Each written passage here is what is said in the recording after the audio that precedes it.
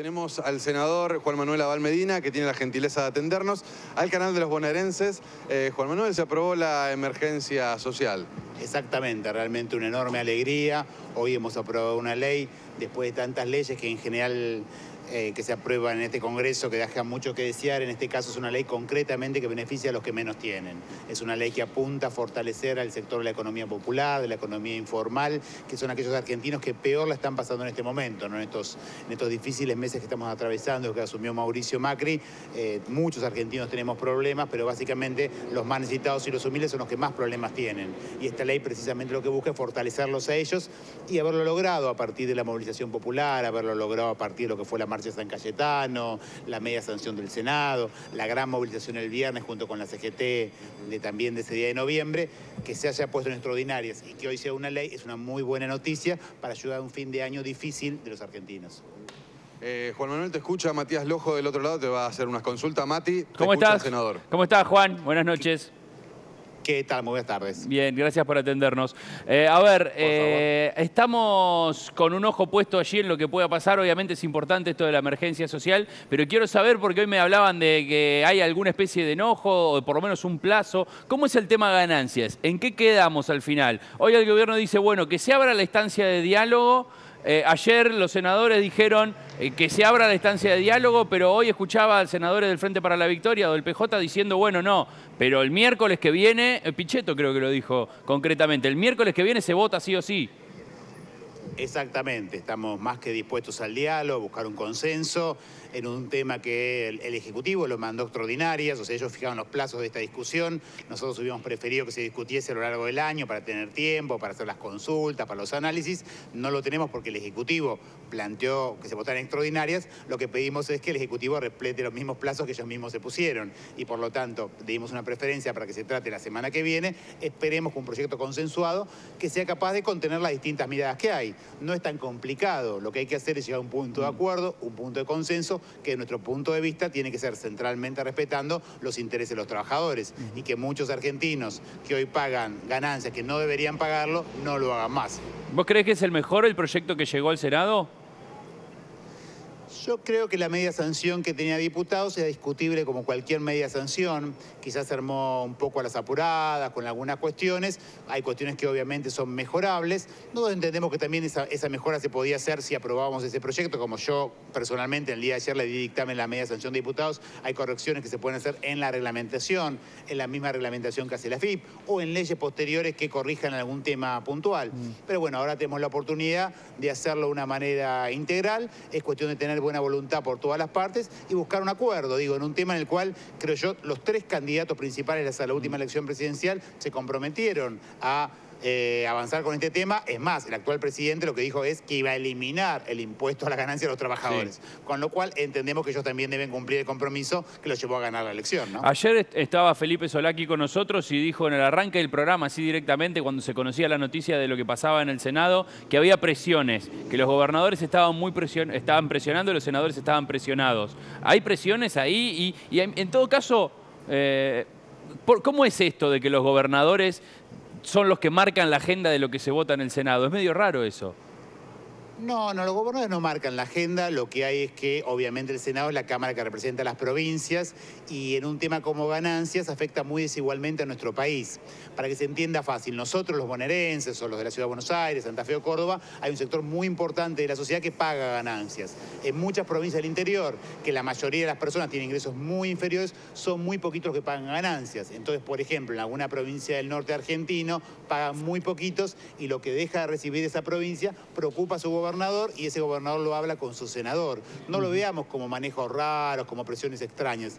Tiene simplemente que ver con que son discusiones que en un país federal como el nuestro, algunos afectan más y algunos afectan menos. Uh -huh. Algún senador, por ejemplo, en la discusión del día de ayer, planteó que, son de una, que venía de una provincia minera que tiene la actividad minera como una actividad central. Sí. Ese senador planteó por qué siempre se carga la minera y no, no se les ocurrió volver a subir los impuestos a la soja, hablando de la, nuestro sector, de la pampa húmeda, etcétera, etcétera. Son discusiones siempre difíciles en que todos los puntos de vista son atendibles. A ver, hubo un gran número de gobernadores de todos los espectros políticos, ¿eh? del oficialismo, algunos en nuestro espacio político, uh -huh. incluyendo al, al, ministro de, de, de, de Economía de Santa Cruz, que planteaba que este proyecto no les convenía. Hay que buscar un punto de acuerdo, hay que construir un consenso. Los argentinos hablamos antes de emergencia social. Y, Cuando sacamos la emergencia social, el gobierno nos dijo que éramos desestabilizadores, que queríamos financiar al Estado nos sentamos en una mesa y se llegó a un acuerdo. Acá hay que hacer exactamente lo mismo.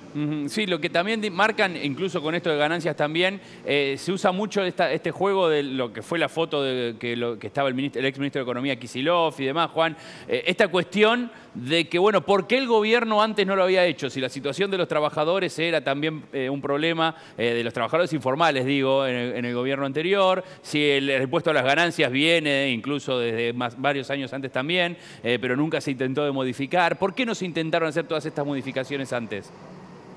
Probablemente habría que haberlas hecho. Probablemente alguno de los errores que cometimos en los 12 años de gobierno fue no haber eh, dado una reforma más radical de este impuesto. ¿no? Varias veces subimos el mínimo imponible, no es que no se hizo. Yo me acuerdo, yo fui cuando fui jefe de gabinete en 2013, se hizo la última, antes la de Macri, la última subida del mínimo imponible fue en mi época. O sea, no es que no, se tocó nada. Se hicieron cosas, lo que uno ve hoy, después de lo que se manifestó en la campaña y el acompañamiento que tiene este reclamo, que quizás tendremos que haber tomado más en serio la reforma integral de este régimen. ¿no?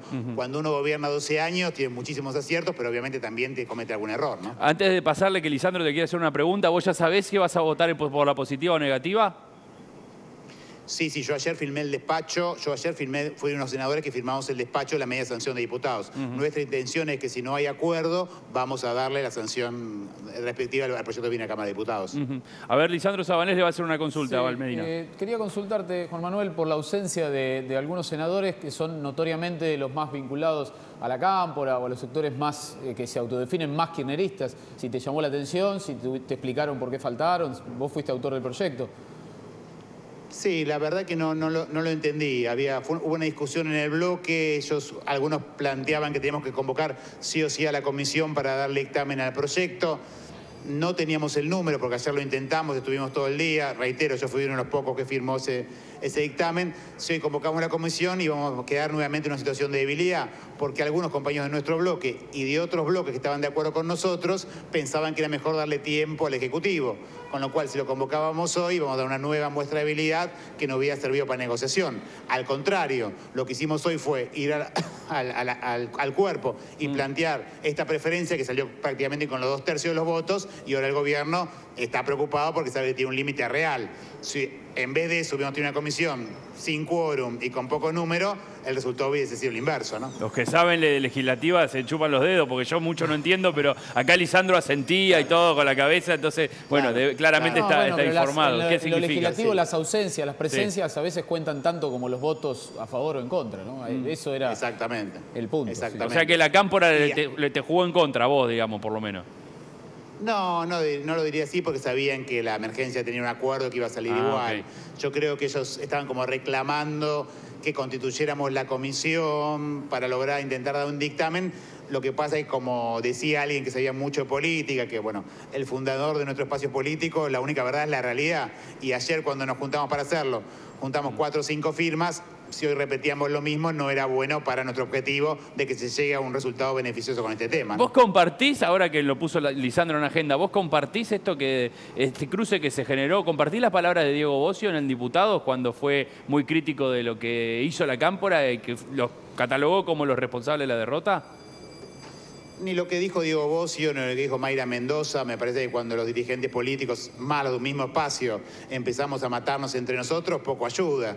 Y el mejor ejemplo es que a la semana o a las dos semanas que estuvieron esa discusión estaban votando juntos justamente ganancias y festejando juntos. Entonces, mm. digo, me parece que tenemos que ser más cuidadosos de los otros compañeros, no hay que adjetivar a nadie y construir para construir una mayoría. A, ver, Verónica. Bueno, a propósito de construir una mayoría, ¿es posible que esta discusión exceda al Congreso Nacional y que estas negociaciones que se dan por el tema puntual de ganancias se den por todo el contexto político, digo, se van a sanar las heridas, camporistas, no camporistas y finalmente, es más, hasta posibilidad de sumarse el Frente Renovador, el Frente para la Victoria, contra el macrismo me refiero. Y queremos discutir, la verdad que esta discusión tiene que hacerse con todos los actores y centralmente queremos nosotros con los actores sindicales con la CGT básicamente, con las demás centrales sindicales, que son los que vienen reclamando por esto de hace muchísimo tiempo y vienen, digamos, hicieron paros generales a nuestro gobierno, no es que lo inventaron ahora la temática, ni mucho menos, sino que la vienen reclamando hace tiempo, tienen que ser actores centrales de esto y tienen que ser parte de esa discusión, ¿no? Mm. Abel Medina, yo le agradezco por este tiempo, no sin antes destacar eh, que por lo menos en este programa es la, primera vez que hablamos con un senador de la provincia de Buenos Aires. Eh, es uno de los tres que representa la provincia, digo, no, son muchos. Eh, no son muchos, lo que, y nosotros sí somos muchos en la provincia. Y este es el canal de la provincia de Buenos Aires, por lo tanto para nosotros es importante, así como le agradezco, también se lo exijo y se lo demando un poquito más, no solamente para con este canal, sino para tantos medios provinciales que a veces pareciera que la política transcurre en la ciudad de Buenos Aires y bueno, justamente usted lo dijo en parte de la nota, representan a la provincia, ¿no? Y, y para nosotros como medio bonaerense es importante tener su palabra. Totalmente cierto y eso, la solidaridad que tenemos en esta Cámara se nota cada vez que, por ejemplo, planteamos el tema de la restitución del fondo del conurbano y esos 10 puntos que le sacaron a la provincia de Buenos Aires, ¿no? Lo planteamos y todo el mundo mira para otro lado y quiere frenarlo.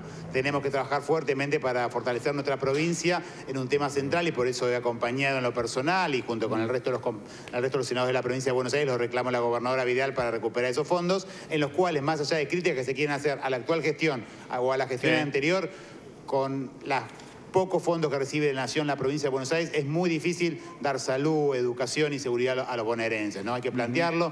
Me acuerdo la primera vez que estuve con la gobernadora, cuando vino acá a hablar al Senado, que estaba con una visión muy crítica a la gestión de Daniel Scioli, y le dije, más allá de la discusión, fíjate los números, vas a ver que con lo que recibís de recursos nacionales es imposible poder estar a la altura de, lo que puede ser una buena gestión simplemente porque es mucho menos recursos. Estamos hablando que en 20 años la provincia de Buenos Aires perdió un tercio de los recursos que recibe la nación lo cual obviamente es una verdadera frente histórica que tenemos Todos nos sacan plata. para instalarlo. Gracias, Abel Medina, le agradezco. Gracias, muy amable. No, muchas gracias a usted.